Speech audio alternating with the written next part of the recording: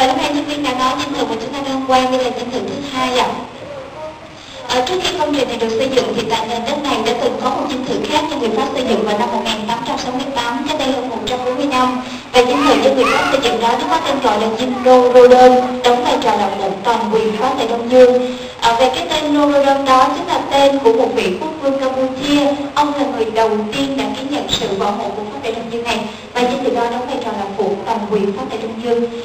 Đến năm 1954 thì Pháp thua trận tại Điện Biên Phủ và sau đó người Pháp đã trao trả cái dinh Norodom lại cho đại diện chính quyền Sài Gòn là thủ tướng Ngô Đình Diệm và Ngô Đình Diệm nghĩ rằng người Pháp trao trả dinh Norodom đó lại cho người Việt, giống như là họ trao trả cho nền độc lập cho người Việt. Cho nên Ngô Đình Diệm đã quyết định đổi tên dinh Norodom thành dinh độc lập vào ngày 8 tháng 9 năm 1954 và ngay sau khi đổi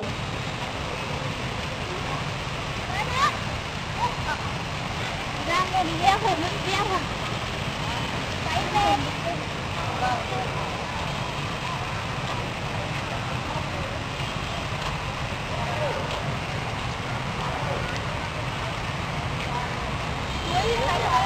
đâu mẹ vâng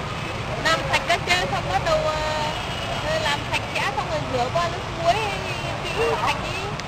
hoặc là đổ đi tấn là rửa à đấy à. Thế thì ờ, tốt nhất là rửa qua tấm á sạch sẽ đi thế xong rồi rồi cho một có gậy ở chỗ cái rổ nước bát đấy.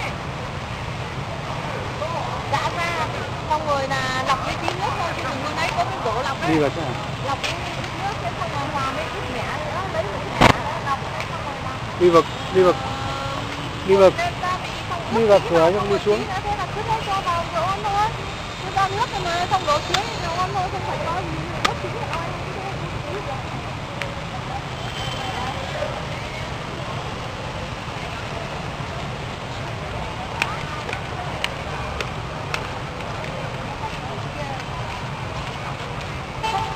cô ở chị ta chụp tắm thứ tư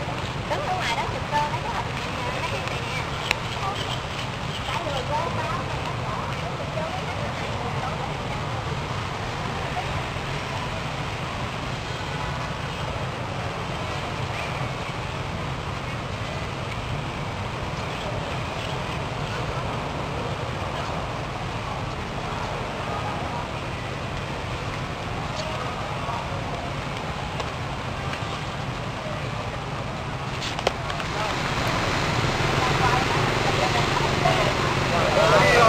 đi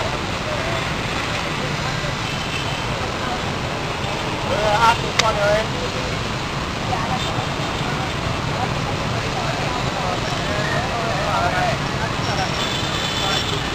đi đi.